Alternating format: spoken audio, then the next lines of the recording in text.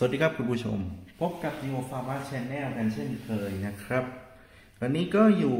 กับการอัปเดตข่าวสารนะครับ เกี่ยวกับเกม Pokemon Master EX นะครับอ่าซึ่งนะนนี้ก็คืออ่าตัวเกมนะครับได้อัปเดตแพทใหม่นะครับ เวอร์ชัน2.26 มานะครับ ซึ่งก็มีการเปลี่ยนไอคอนใหม่นะครับ เป็นอ่าซิกนาสูตรฮิลดานะครับ หรือก็คือโทโกะนะครับ อ่าอันนี้เราจะมาพูดถึงข่าวอัปเดตกันก่อนแล้วกันนะครับว่าอัปเดตนี้จะมีอะไรที่น่าสนใจบ้างนะครับ ส่วนรายละเอียดทางด้านเกี่ยวกับซิงแพรที่จะเข้ามาใหม่เนี่ย เดี๋ยวผมขอพูดแยกเป็นอีกคลิปหนึ่งดีกว่านะครับอ่ามันจะได้แยกคอนเทนต์กันได้ง่ายนะครับผมอ่าซึ่งอ่า เราก็ยังอยู่กับทวิตเตอร์ของคุณ Absolutely PM เหมือนเดิมนะครับ ซึ่งก็เป็นเจ้าพ่อ Data m i ที่เราคุ้นเคยกันดีนะครับอ่าเปิดมาก็ขึ้นมาด้วยอ่าเขาเรียกว่าเป็นข่าวสารการอัปเดตนะครับที่อ่ามาจากทางทีมงานโดยตรงนะครับ ก็อันนี้เราคงไม่เจาะรายละเอียดมากเนาะก็ลองไปอ่านกันได้นะครับผม ทีนี้มาดูนะครับ สิ่งที่จะได้เจอกับในอัปเดตต่อไปนี้นะครับ จะเจออะไรบ้างนะครับ อันดับแรกครับก็คือมาด้วยเรื่องของอ่าอ่าอะไรนะ G set ใช่ไหมอ่า Get set นะครับ ซึ่งอ่าเป็นมาคู่กับ Q lem ใช่ไหมอ่าเป็นตัวสายเทคที่ดีตัวหนึ่งนะครับ แล้วก็เป็นอ่าตัวที่เป็นตัวฟรีเนาะที่ คุณสามารถไปรับได้ในเนื้อเรื่องของตัวร้ายนะครับ อ่า มันก็จะอยู่ในเนื้อเรื่องของภูมิภาค อ่า อิชูนะครับ หรือยูโนวานั่นแหละนะ ซึ่งรอบนี้นะครับก็จะมีอ่าเนื้อเรื่องเพิ่มเติมในส่วนของภูมิภาคนี้นะครับอ่าเป็นเนื้อเรื่องราวเกี่ยวกับอ่าทีมพลาสมานั่นเองนะครับผม แล้วก็มีตัวละครใหม่ครับ อ่าเป็นอันนี้ก็จะเป็นสกูภาพนะครับมีมีเทรนเนอร์คนใหม่นะครับ ก็เป็นอ่าฮิลนะครับอ่าก็จะมาคู่กับไอ้เจ้าไอ้เขาเรียกอะไรกระทิงนะครับ เดี๋ยวค่อยไปดูกันอ่าและนี่ครับก็คืออ่า G s e t นะครับ น่าจะเป็น EX นะครับ น่าจะเป็น EX สูตรนะครับ ซึ่งอ่า อย่างอ่าถ้าเราเล่นมาเนี่ยก็คงจะพอทราบกันแล้วนะว่า ตอนเนี้ยแอตัวที่เป็นตัวโปเกมอนในตำนานอะที่มาจากเนื้อเรื่องอ่า Legendary Adventure ใช่ไหมมันจะทยอยอัปเดต แล้วก็อัพอ่าเขาเรียกอะไรเพิ่มความสามารถไปทีละตัวนะครับ ซึ่งอตอนนี้นะครับก็น่าจะเป็นตัวที่ 5 แล้วนะครับ ที่จะได้รับการบัฟนี้นะครับ นั่นก็คือ g ีซิคิวเลมนั่นแหละนะครับอ่าก็จะได้ทั้งอ่าปลดล็อก 6 ดาว EX นะครับ แล้วก็จะมีความสามารถอื่นๆตามมานะครับ ซึ่งเดี๋ยวก็ต้องรอดูกันต่อไปครับว่าไอ้ความสามารถที่เพิ่มนั้นคืออะไรนะครับ แล้วก็มีตัวใหม่นะครับที่ตามมานั่นก็คือนี่ครับ อ่า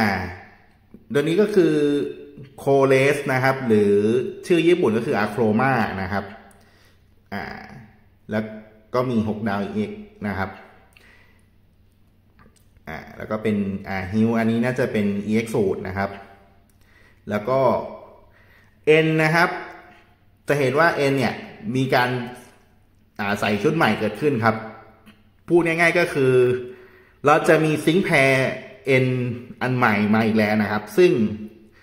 ข่าวรู้สึกว่าจะเป็น Black Kyurem นะครับผม อ่า แล้วก็ต่อมาครับ อ่า อันนี้ก็จะเป็น อ่า Sygna Suit Hilbert นะครับ หรือโทยะนะครับ ซึ่งถ้าตามข่าวเนี่ย ก็คือเขาจะมาพร้อมกับตัวใหม่ก็คือ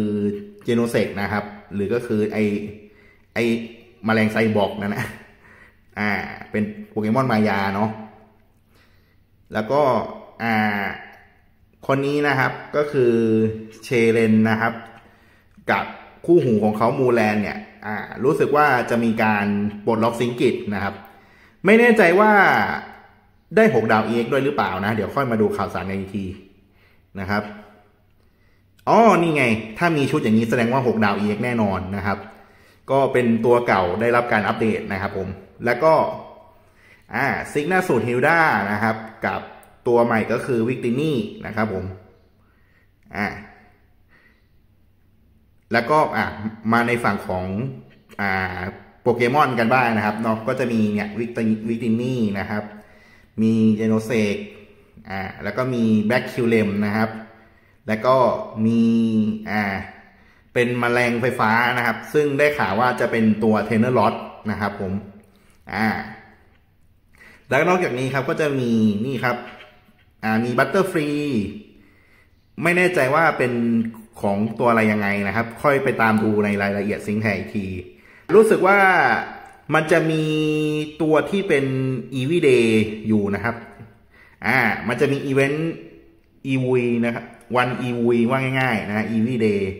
ก็มันจะมาพร้อมกับสามตัวนี้แหละนะครับ แล้วก็เป็นตัวละครหลักนะครับ ก็เดี๋ยวค่อยมาดูข่าวสารกัน ไอ้ Butterfree นี่งงมากเลยมายังไง นะครับ หรือว่าหรือว่าจะเป็นตัวฟักไข่หรือเปล่า เออ จะว่าไปยังไม่มีใช่ไหมไอตัวฟักไข่ที่เป็น Butterfree เพราะมันจะเริ่มจากไอหนอนสีเขียวใช่ไหมแล้วค่อยมาเป็น เออ ใช่ แสดงว่าน่าจะเป็นตัวฟักไข่นะครับ อาจจะเป็นไม่ได้ แล้วก็ต่อมานะครับก็เป็นตู้กาชานะครับ อ่า ก็จะมีตู้ของเก่านะครับ อันนี้ก็เป็นพวกตู้ของเก่าไปก่อนนะครับอ่าแล้วก็ก็จะมีมันชื่ออะไรนะ ชื่อไลเซนเดอร์อะเออกับอีเวลทัลนะครับ จะอ่า rerun กลับมาอีกครั้งหนึ่งแล้วก็มอปเปโกนะครับของน้องแมรี่นะครับ ก็กลับมาอีกรอบนะครับ แล้วก็อ่า Sygna Suit อ่ากรีนนะครับ ช่างมัน แล้วก็อ่าอันนี้ก็ rerun ตัวเก่านะครับ ก็ไม่มีอะไร แล้วก็อ่าตู้ของ Sygna Suit ฮิวเบิร์ตนะครับ แล้วก็ Sygna Suit ฮิลดาแล้วก็เอ็นเนี่ยจะกลับมาในฐานะของ Monthly Poké Fair นะครับ volume three นะครับ ก็คืออ่ามันมีมันจะมีตู้ที่เรียกว่า Monthly Poké Fair เนาะมันจะอยู่อ่าลำดับเกือบสุดท้ายของหน้า sync pair scout เลยนะครับอ่าก็คือหน้าสุดท้ายเนี่ย มันจะเป็นdaily scout ใช่ไหม ที่แบบให้เราฟาร์มไอเทมสิบอย่างนะครับ แล้วก็นั่นแหละถัดมาก็คือ Monthly Poké Fair นะครับ ซึ่งอ่า volume หนึ่งเนี่ยมันออกไปแล้วใช่ไหมก็คือตัวอ่าชิโรนะ ใช่ป่ะถ้าจะไม่ผิด นั่นแหละนะครับ แล้วก็เป็น volume สองแล้วก็เดี๋ยวเนี่ย volume สามก็จะเป็น N นะครับ ก็คือ N เนี่ยจะมีโอกาสออกสูงกว่าอ่าตัว Poké ตัว Poké Fair อื่นๆนะครับผม แล้วก็ต่อมาครับก็ rerun ตัวเก่าครับ แล้วก็มีตัวไอโคเลสอันนี้ก็น่าจะเป็นสปอตไลท์มั้งนะครับ แล้วก็นี่ครับ Sygna Suit N กับแบล็กคิวเรมนะครับ แล้วก็ฮิวนะครับกับเนี่ยแหละ น้อง อ่าเขาเรียกว่าอะไรน้องน้องควายหัวแอฟโฟรนะครับบัฟฟารอนนะครับ แล้วก็เป็นภาพอ่าแล้วเป็น sprite ของ การใช้ sync move แล้วก็เหมือนจะมีนี่ครับเป็นอ่าเป็นโปสการ์ดนะครับ ใน Trainer Lodge ด้วยนะครับ ถ้าเกิดว่าสอยตัวนี้ได้นะ แล้วก็อ่าอันนี้ก็เป็นอัปเดตของ Trainer Lodge นะครับ ก็คือจะมีเทรนเนอร์คนใหม่เข้ามาก็คืออ่าคามิซึเระนะครับ หรือเอเลซ่านะครับอ่าก็ โดยจะอ่าจะเชิญเธอเข้ามาอยู่ใน Trainer Lodge ได้เนี่ยจะต้องมีอ่าคามิซึเระกับอ่าเซบไรก้านะครับ หรือก็คือไอ้ม้าลายอะนะไอ้ม้าลายไฟฟ้าที่เป็นตัวสายพีชีพนั่นแหละนะครับ ต้องมีตัวนั้นนะครับ ถึงจะเชิญน้องคามิซึเระเข้ามาใน Trainer Lodge ได้นะครับ แล้วก็แน่นอนว่าถ้าอ่าสะสมเลเวล friendship จนถึงเลเวลหนึ่งร้อยเนี่ยก็จะได้ sync pair ใหม่ครับ ก็คือน้องเนี่ยแหละ น้องมแมลงไฟฟ้าตัวนี้แหละ อ่า แล้วก็ ต่อมาครับ อ่า เกียร์สามดาวอันใหม่ครับ คราวนี้มามาเป็นธาตุไฟนะครับเรียกว่าเริ่มเข้าสู่ อ่าธาตุธาตุธาตุหลักนะครับ ก็คือธาตุไฟนะครับ ก็ใครเดี๋ยสายธาตุไฟนี้รอเตรียมเฮกันได้เลยครับ ก็คือ จะได้มีเกียร์ดีๆ ใช้สักทีนะครับผม อ่า แล้วก็ อ่าN นะครับ อันนี้ก็น่าจะเป็นเนื้อเรื่อง มั้งนะครับ เป็นเนื้อเรื่องอีเวนต์ใหม่นะครับ แล้วก็มีอันนี้ อันนี้น่าจะเป็น Legendary Gauntlet นะครับ เป็นสามตัวนี้นะครับ ก็คือเอนเตนะครับทอร์เนลอสแล้วก็ทาปูบูลูนะครับผม อ่าแล้วก็อันนี้น่าจะเป็นตัวที่ ได้รับการอัปเดตสิงกฤตนะครับ ซึ่งตัวกลางก็นอกจากสิงกิตแล้วก็จะได้ 6 ดาวเอกนะครับ อย่างที่บอกก็คือเชเลนนั่นเองนะครับ แล้วก็ล็อกซี่นะครับ ด้านซ้ายก็อ่าล็อกซี่ที่เป็นอ่ามแมลงหนอนอะมันหนอนพิษสีม่วงๆแดงๆ ตัวนั้นนะครับ แล้วก็ด้านขวานะก็คือเคลนะครับ หรือยาค่อนกับไอกบนะครับ กบท่าดินอะที่มันมีท่า ไอ้ท่าบูโดสนะครับ ก็ได้รับการขยาย sync grid นะครับ ต่อมาอันนี้น่าจะเป็นภาพ เป็นแฟนอาร์ตเฉยๆหรือเปล่าหรือว่าเป็นภาพอ่าเรียกอะไรครับภาพหน้า main menu ป่ะเออแบบหน้าหน้า title ของเกมอะครับ ปกติมันหน้า title ของเกมมันก็จะมีอ่าเปลี่ยนเปลี่ยนภาพบ้างนะครับ คิดว่า อัปเดตหน้าน่าจะเป็นภาพนี้นะ อันนี้ก็ อ่า นี่นะครับที่ผมพูดถึงว่า e v ี day นะครับ แต่เมื่อกี้เป็นลิฟต์อ่า เมื่อกี้มันเป็นตัวน้ำแข็งไม่ใช่เลยทำไมตัวนี้เป็น เออ เมื่อกี้มันตัวน้ำแข็งไม่ใช่เหรอวะทำไมมันเป็นอันนี้นะครับ เป็นสามธาตุหลักนะครับ อ่า แล้วก็อันนี้ก็ตู้กาชานะครับ ตอนเนี้ยถ้ามาอย่างนี้แสดงว่าน่าจะมาเป็นตู้กาชานะครับ อันนี้ก็น่าจะเป็นเทรนเนอร์เด็กนะครับ อ่า ก็บันทึกไว้นะครับ เราก็ดูคร่าวๆได้ว่า อ่า มีตัวอะไรบ้างที่จะได้รับ อ่า คอนเทนต์ใหม่ ๆ นะครับ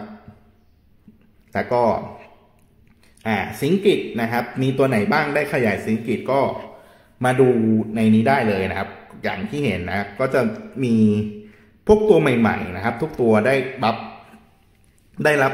อ่า sync grid ใหม่แน่นอนนะครับ ส่วนตัวเก่าๆนะครับ ก็อย่างที่เห็นเมื่อกี้เนาะก็คือล็อกซี่นะครับอ่าเชเรนนะครับ ตัวเก่าแล้วก็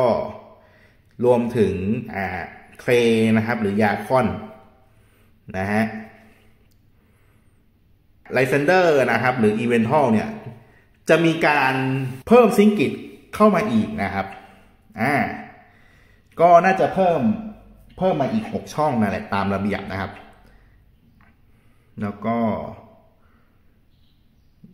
อ่โบนัสอื่นๆนะครับ คงจะไม่พูดมากนะครับ อันนี้ก็จะเป็นภาพ My Scape นะครับของอ่า อของซิกนาสูตรฮิวด้านะครับ อ๋อเขาจะมีเปรียบเทียบกันนะครับ ระหว่างตัวฮิลดาปกติกับตัว Sygna Suit ฮิลดานะครับ ก็คือ ฉากเดิมครับ เพิ่มเอฟเฟกต์นิดหน่อยๆนะ แล้วก็อันนี้ของโคเลสนะครับ อันนี้ก็เทียบกันนะครับ ระหว่าง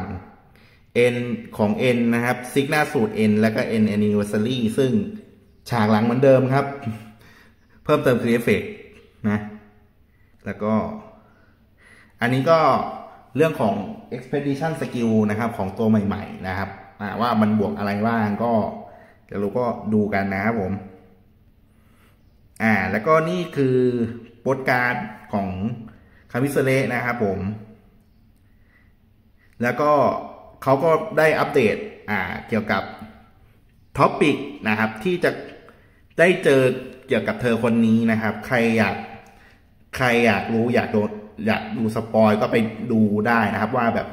อันไหนเป็น X อันไหนเป็นซูเปอร์เอ็กไซอะไรอย่างเงี้ย ก็ไปดูนะครับ Unbound from the Past น่าจะเป็นเนื้อเรื่องใหม่นะครับ เนื้อเรื่องของอันใหม่ แล้วก็อันนี้ก็เป็นเข็มกัด แล้วก็ อันนี้คือซิงแพรสเกลเนาะโอเค อันนี้ก็จะเป็นอ่าเม็ด power boost นะครับของเคียวอ่าของคิวเลมนะครับ G set จะหน้าตาประมาณนี้นะครับ ซึ่งก็เหมือนกับทุกตัวที่ผ่านมาเนาะว่ามันจะต้องมีการเก็บ power boost นะครับ เพื่อที่จะได้รับการพัฒนาขึ้นมาอีกขั้นหนึ่งอะอารมณ์เหมือนมิวทูจะเอาร่าง mega ก็ต้องเก็บ power boost ใช่ไหม เออ อะไรทำนองนั้นนะครับ อันนี้คือ อ๋อ เป็นของขวัญนนะครับ ที่จะมอบให้กับเธอในปุกอ่าใน Trainer Lodge นะครับ ปกติเทรนเนอร์แต่ละคนเนี่ยมันก็จะมีอ่า present ที่หน้าตาแตกต่างกันไปใช่ไหมแล้วเราก็ต้องเอาไอไอชิ้นส่วนของเราไปแลกใช่ไหม ทีเนี้ยถ้าเล่นเนี่ยพอจะจับไต๋ได้อยู่อย่างหนึ่งว่า ถ้าอ่าถ้า sync pair ที่เป็นเงื่อนไขอะเป็นสาย strike นะครับ ชิ้นส่วนที่ต้องแลกเนี่ยมันจะเป็นชิ้นส่วนสีแดงนะครับ ถ้าว่าเทนเนอร์ตัวนั้นเป็นสาย tech เนี่ย ชิ้นส่วนที่แลกจะเป็นชิ้นส่วนสีเหลืองนะครับ หรือโซติ้งถ้าเป็นสาย support ก็จะเป็นชิ้นส่วนสีฟ้านะครับ หรือก็คือวิสฟูเนี่ย จะไว้สำหรับแลกอของขวัญของของตัวสาย support นะครับ ยกตัวอย่างง่ายๆก็คือโรซาเออโรซาใช่ไหมมันมีอ่า sync sync pair ดั้งเดิมเธอคือ ไอจารูด้าใช่ไหมมันเป็นสาย support นะครับ หรืออย่าง N อย่างเงี้ย N N อ่า sync pair ดั้งเดิมเขาก็คือเคียวเอ Zekrom ใช่ไหมซึ่งเป็นสาย strike นะครับ เพราะนั้นเนี่ย ชิ้นส่วนที่ต้องเอาไปแลกของขวัญจะต้องเป็นชิ้นส่วนสีแดงนะครับ ต่อมาอันนี้ก็คืออะไรเนี่ย Battle Point Boot Part Get them with real money อ่า ก็คือเปนะครับ เพื่อให้ได้ Battle Point เยอะขึ้นกว่าเดิมนะครับ อ่าละสายเปนะครับ เขาบอกว่า อ่า บันเดิลนี้ราคาพันห้านะครับพันห้าร้อยเพจเจมก็คือต้องใช้เพชรเติมซื้อนะครับ โดยจะได้ Battle Board Battle Point Boost เนี่ย เป็นระยะเวลา 20 วันนะครับ คุณสมบัติจะคล้ายๆกับ Sync of Reward Boost นั่นเองนะครับ เรียกได้ว่าหาเรื่องเปกันอีกแล้วนะครับผม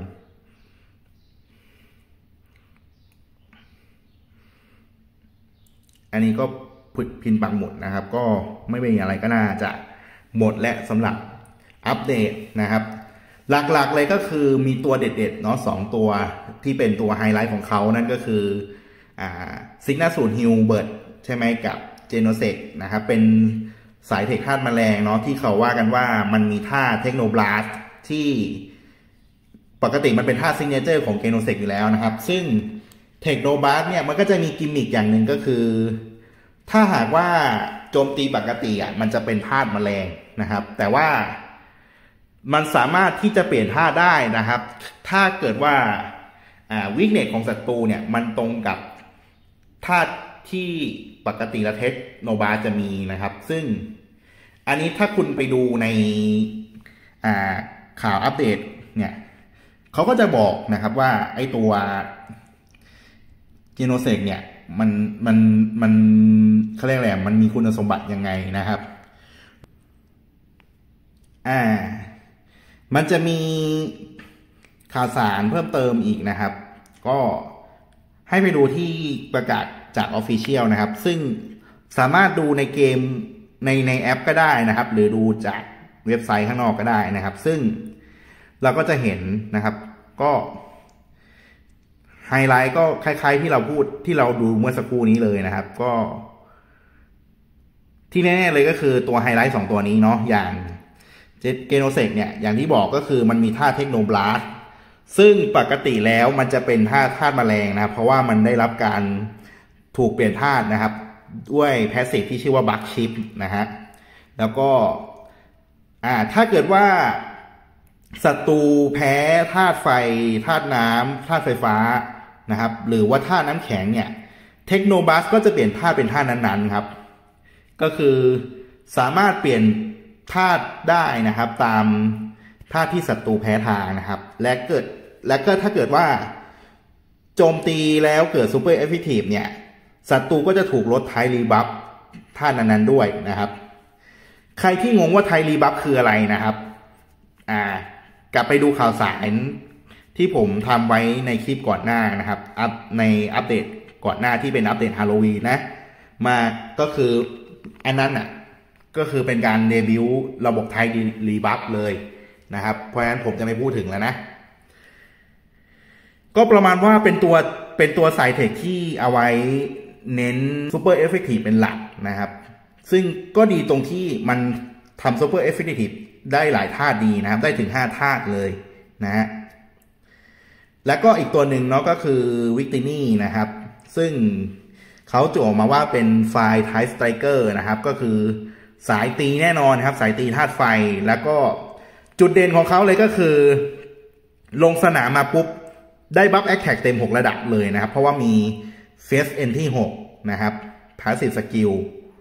ลงมาปุ๊บได้ attack เต็ม 6 ระดับเลยนะครับ แล้วก็ อ่าเมื่อกด buff เนี่ยก็คือ buff ทีหนึ่งได้ critical เต็ม3ระดับนะครับ แล้วก็เหมือนจะได้ special attack นะครับ อันนี้น่าจะมาจากการ buff มั้งหรืออะไรไม่แน่ใจนะครับเออน่าจะมาจากการ buff เนาะไอ special attack เต็ม6ระดับเนี่ยนะครับ แล้วก็มีท่าเด็ดนะครับท่าประจำตัวของเขาอย่างท่า V Create นะครับ ซึ่งน่าจะแรงสะใจนะครับ แล้วก็มีท่า Searing Shot อีกท่าหนึ่งนะครับ แล้วก็มี Recharging Strike 9นะครับ ก็คือโจมตีแต่ละครั้งได้ได้ move gauge มาเพิ่มนะครับ แล้วก็ downside up ครับ ก็คือไม่ไม่โดนลด stat ครับ นอกจากไม่โดนลด stat แล้ว ยังกลายเป็นเพิ่มซะด้วยซ้ำนะครับ คุณสมบัติจะคล้ายๆกับ shiny Rayquaza นะครับ หรือไม่ก็ Deoxys นะครับ ของไดโกะนะครับ ก็คือมี downside up เหมือนกันนะครับ เพราะฉะนั้นนี่ บอกได้เลยว่าโคตรโอพีครับ OP ชิบหายครับ จากที่ดูเนาะก็เตรียมตังเตรียมเพชรกันให้ดีๆครับอะก็จบกันไปนะครับสำหรับข่าวอัปเดตนะครับ เดี๋ยวรายละเอียดของซิงแพรนะครับ ผมจะขอเจาะลึกกันอีกทีเมื่อแหล่งข้อมูลพร้อมแล้วกันนะ เดี๋ยวเราไล่ดูกันเลยว่า ตัวไหนเด็ดตัวไหนโดนในอัปเดตใหม่นี้นะครับ โอเค ถ้าชอบคลิปนี้นะครับ ก็อย่าลืมกดไลค์กดแชร์เป็นกำลังใจนะครับ ถ้าอ่าถ้าไม่อยากพลาดข่าวสารแบบนี้ก็กด Subscribe ได้นะครับ ขอบพระคุณทุกท่านที่ติดตามชมนะครับ เจอกันใหม่คลิปหน้าครับ สวัสดีครับ